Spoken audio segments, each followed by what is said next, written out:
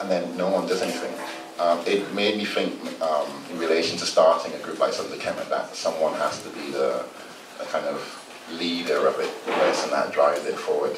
Um, maybe I should have applied that to Zed-U, but I, in some way I like the, the, the poeticness of just um, killing the thing that you love without it actually dying. Killing the thing that you love without it actually dying sounds like the title of a composition that you're yet to write. so bear that in mind.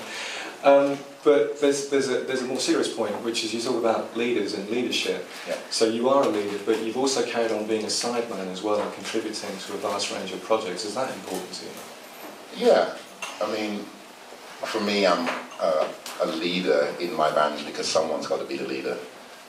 And we've seen what happens when no one's the leader with something like Zed-U. Um, but I just like, I like playing music. I like playing with different people.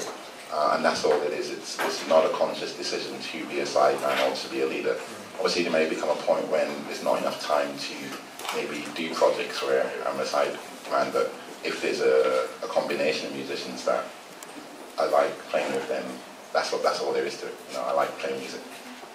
And in the residency and in, in general, do, do you find that there is a, a big difference between the space that you're in as a composer and the space that you're in as an improviser? I mean, we've got the improvised night here tonight, as it were, and then we've also had the, the composed, uh, composed interpretations of Caribbean folk tunes and definitely composed elements in the residency.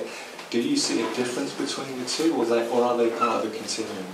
Um, I guess they're part of a continuum that have. It's all manifestations of the stuff that happens in my head.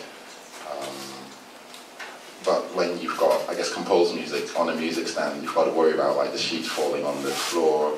You've got to worry about maybe something getting in your eye and you not seeing the music and missing a spot.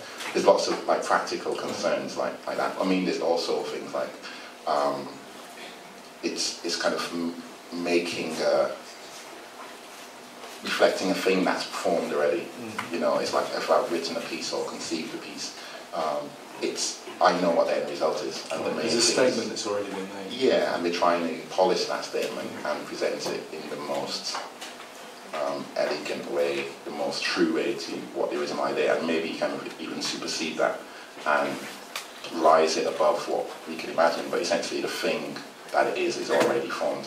Whereas with improvisation, like we don't know what's, what's formed. We're actually creating that, that form and structure on the spot.